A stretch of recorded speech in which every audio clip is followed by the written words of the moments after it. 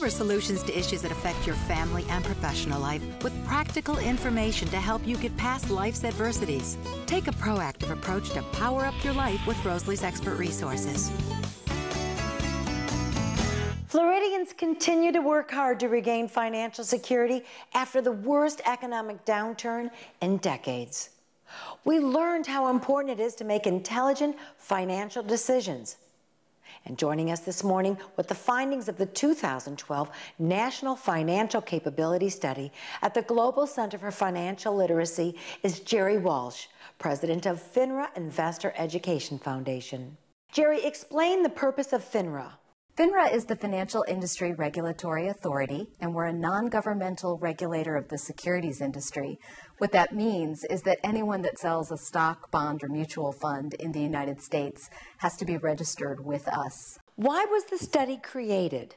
The National Financial Capability Study is a broad survey of more than 25,000 U.S. adults.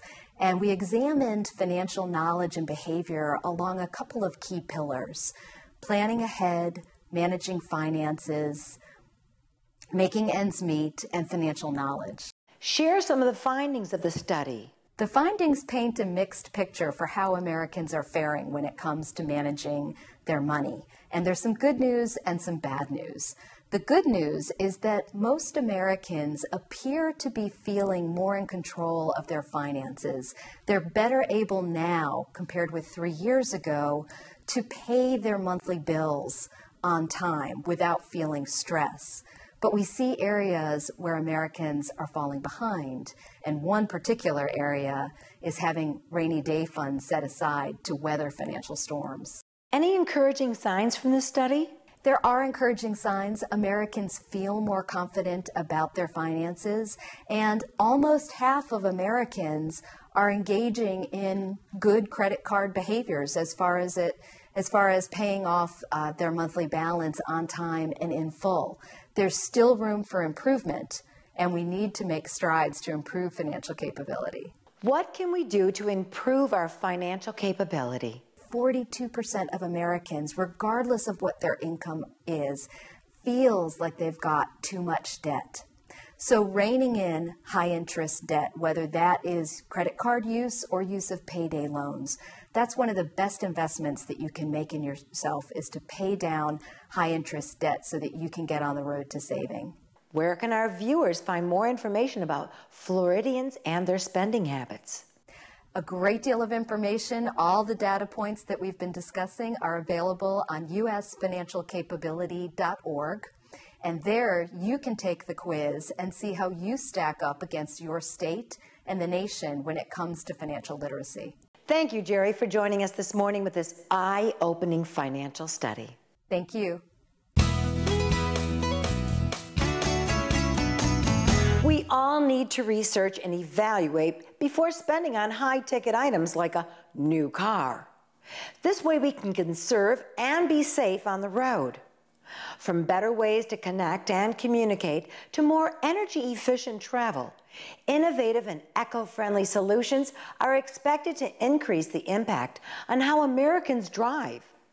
High tech expert Scott Steinberg joins us to reveal the latest vehicle technology trends. Good morning, Scott. Hey, Rose, how you doing?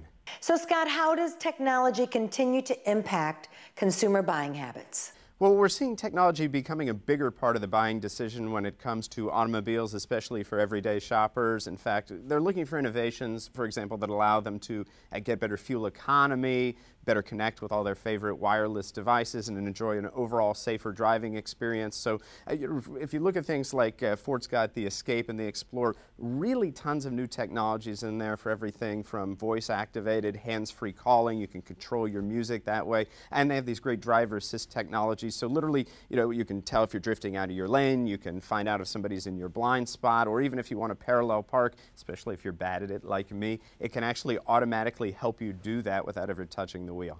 And today, with all of our vets coming back with multiple disabilities, the hands free options add to their safety while they're driving.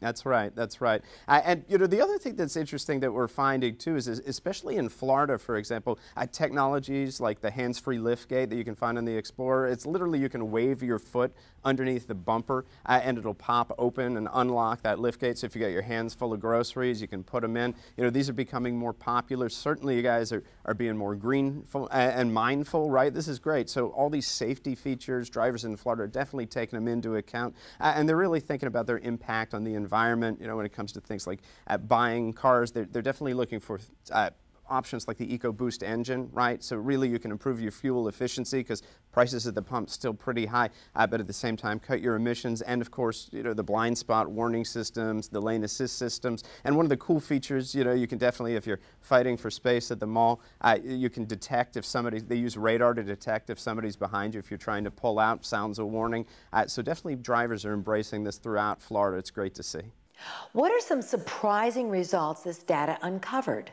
Well, one of the biggest surprises, if you look at major metropolitan areas, things like Philadelphia, Pittsburgh, Chicago, these are actually amongst some of the most eco-friendly cities out there. You wouldn't think it at first, but there's actually been major pushes in most of these cities to become among the greenest in the nation, and so they're definitely thinking about their impact on the environment. There's also some interesting surprises. Uh, if you were to look at some of the most mindful cities, Seattle tops the list there. You would think it would be one of the geekiest, and it is, but they're actually because of the road conditions, because because of the rain. They're definitely thinking about uh, protecting drivers, how they can prevent accidents. And in the case of them, they even have technologies uh, like inflatable rear, rear seat belts that you can find in the Explorer uh, that definitely protect children or other folks who might be sitting in the back there, elderly in the case of an impact. So really across the nation, though, we're seeing people are becoming more connected. They're becoming more mindful. They definitely want to be safer on the roads. They want to be able to prevent collisions up front, not just have the technology uh, to deal with it if it should happen. And of course, they're also more and more thinking about the impact that they're having on the environment and trying to be earth friendly.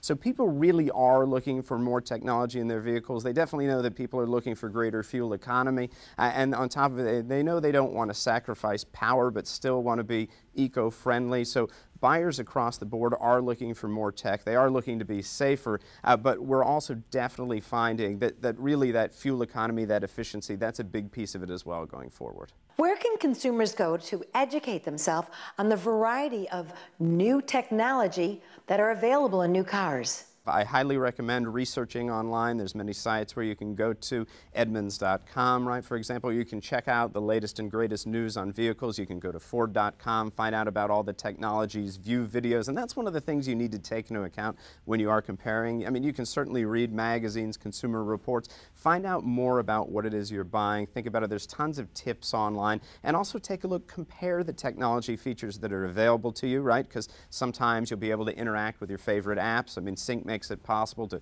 read text messages aloud to you or control certain music apps with your voice, for example. So definitely see what's available in the range of vehicles you're shopping for and really think about some of these pieces as you go and be mindful uh, and you know, plenty of great options to choose from. Did I hear you say hands-free texting? That's right. Well, because it's voice activated technology, right? It's speech technology. So if you want to get turn by turn directions, find points of interest, uh, or control the radio, control your music, if you're using something like Sync with My Ford Touch, the, the nice part about it is literally you can keep your eyes on the road, hands on the wheel because it is speech technology. And future advances there, I mean, they're not just going to be able to read you me text messages, but they'll also be able to read entire articles to you right? So you can keep your eyes on the road, hands on the wheel, and really be overall safer. Thanks, Scott, for joining us with all this new auto technology information. My pleasure. Thanks, Rose. Are you taking advantage of your vacation days? A 2012 survey found that over 226 million vacation days go without being used in the U.S. annually. With the economy Many are still struggling and say they just don't have the money to get away. Travel expert Kendra Thornton joins us live with a few simple steps to make that all needed vacation happen this summer. Kendra, thank you for joining us this morning. Good morning. I see the picturesque bridge of lions in your background, and you're in celebration mode. Well, I am very fortunate to be in the beautiful St. Augustine, Florida today, and it is actually as part of the celebration of the 500th anniversary of the discovery of Florida. And you will notice behind me is an exact replica of a 16th century Spanish sailing vessel that was actually constructed in Spain and brought over here to commemorate the 500th anniversary.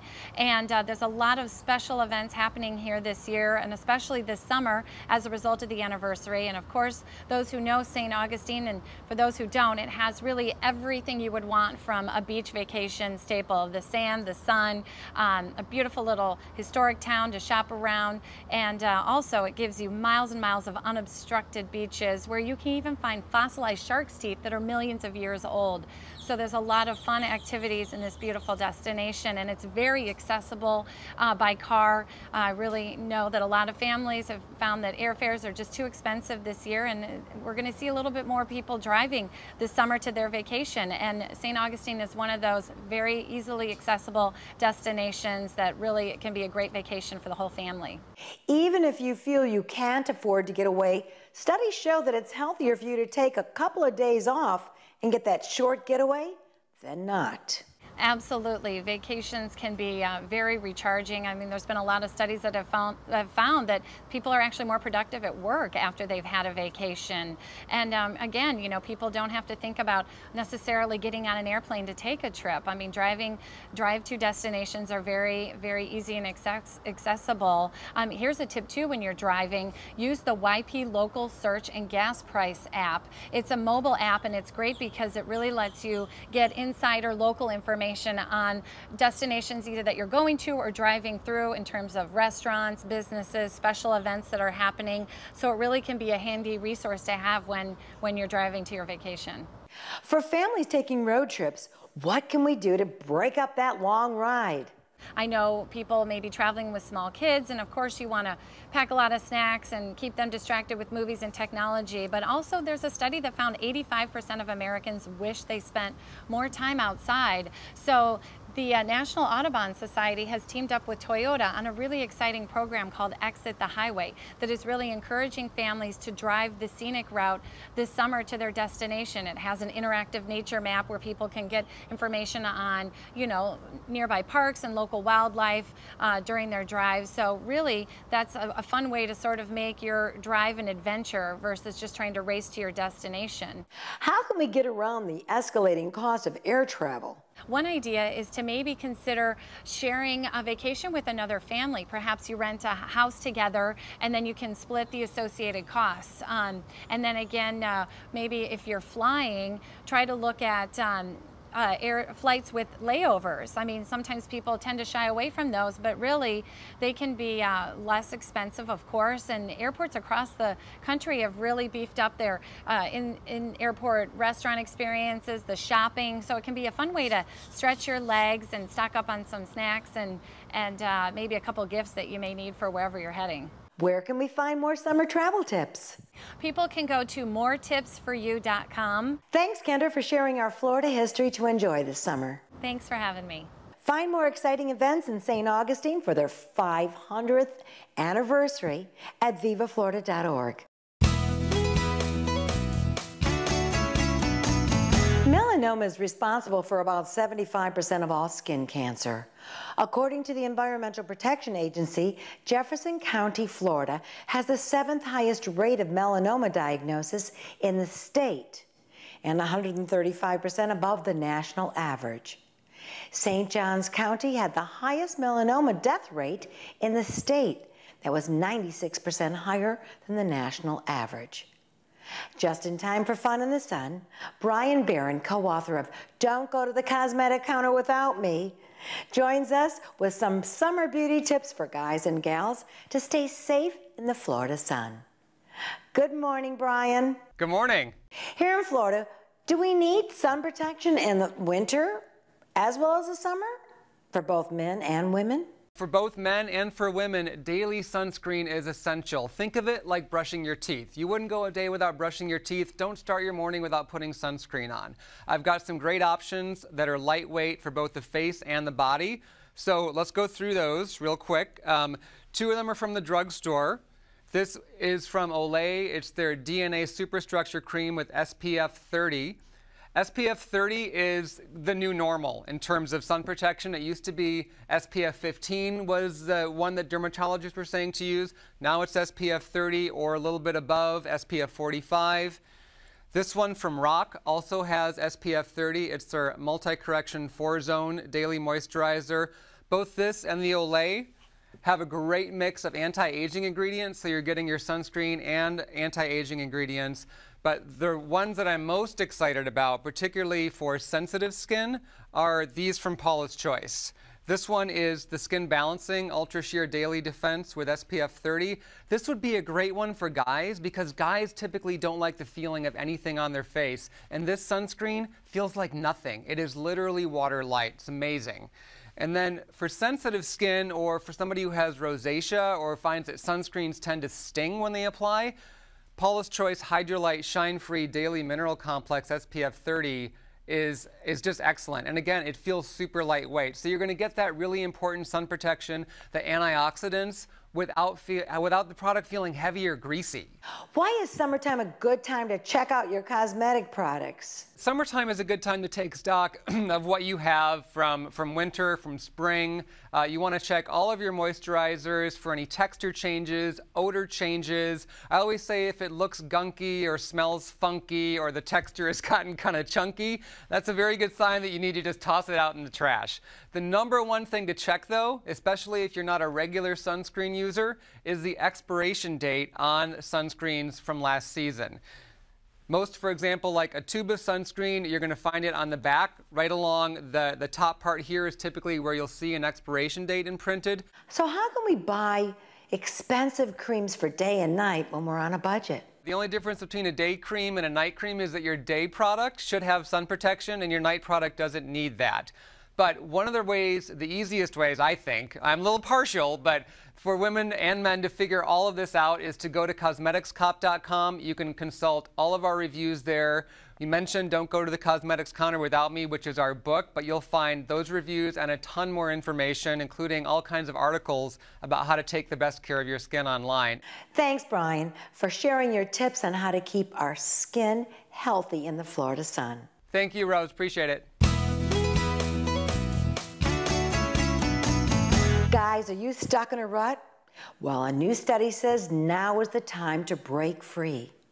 Because most men regret not pursuing certain things in their lives, and they feel the need for more direction or sense of purpose, and feel restricted from all their life responsibilities, with 53% feeling bored with their daily lives.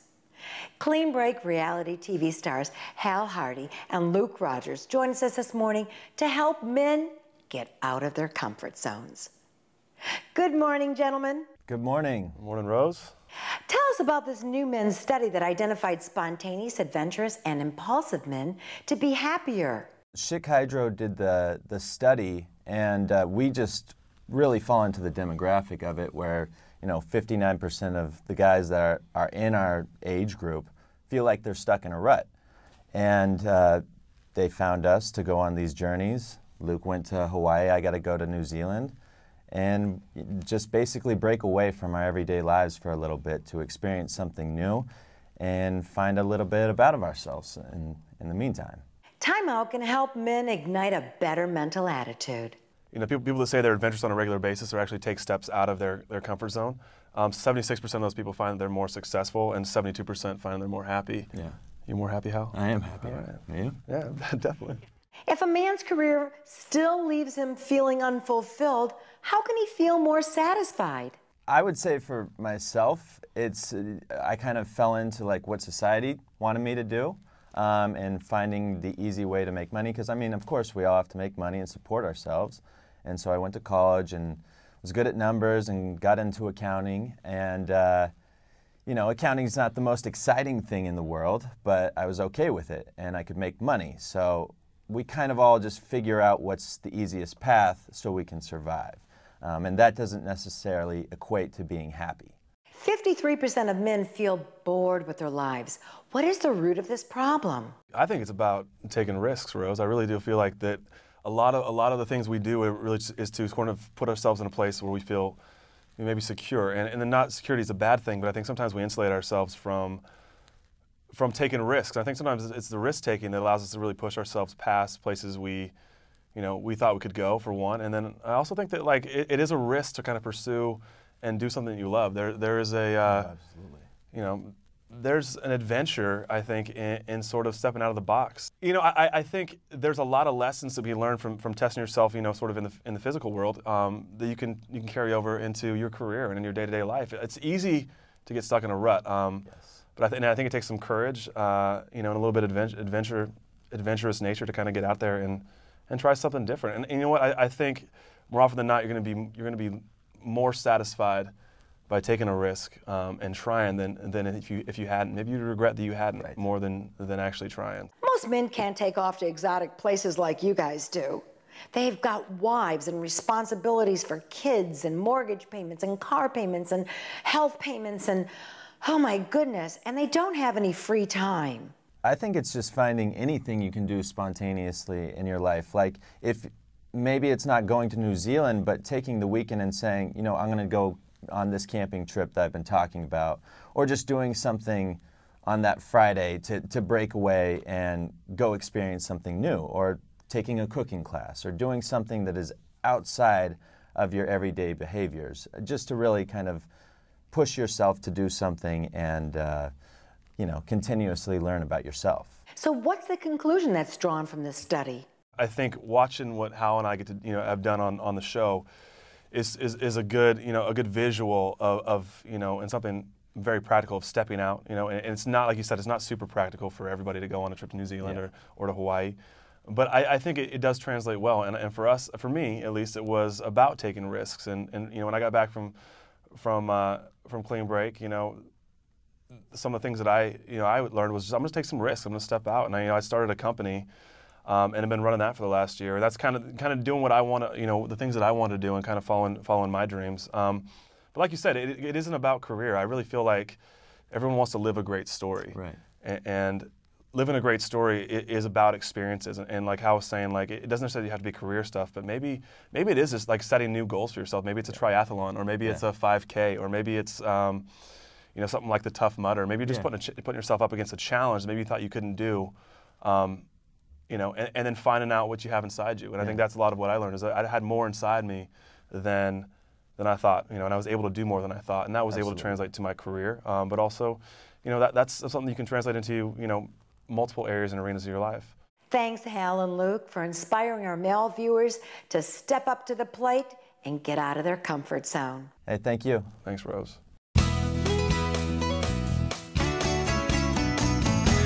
Carefree summer barbecues, picnics, and outdoor events can be fun, but not for 6 million Americans who are at risk for anaphylaxis, a severe allergic reaction that happens quickly and may cause death. From a bee sting to shrimp on the barbecue or just a party balloon, it may lead to a life threatening emergency. In fact, an emergency room visit caused by food related anaphylaxis occurs every 18 minutes in the U.S. Robin Miller, cookbook guru and host of Food Network's Quick Fix Meals, knows firsthand what it's like to live and entertain with severe allergic reactions. Good morning, Robin. Good morning, Rose. That was that's a lot of information and it's it's scary information, isn't it? And it's all life important information. You bet. And you know what? You want to hear one more stat? I'll add to yours that two thirds of those 6 million Americans with life threatening food allergies don't carry an epinephrine auto injector as recommended. So they should be. And then maybe wouldn't have all those emergency room visits, um, you know, every 18 minutes. So it's important for people to be prepared, especially when you're out.